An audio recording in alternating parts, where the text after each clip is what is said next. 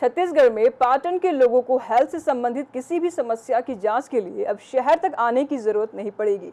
जी हाँ क्योंकि मुख्यमंत्री भूपेश बघेल ने पाटन में ब्लॉक पब्लिक यूनिट का शुभारंभ कर दिया है, साथ ही उन्होंने हमर लैब का भी उद्घाटन किया है।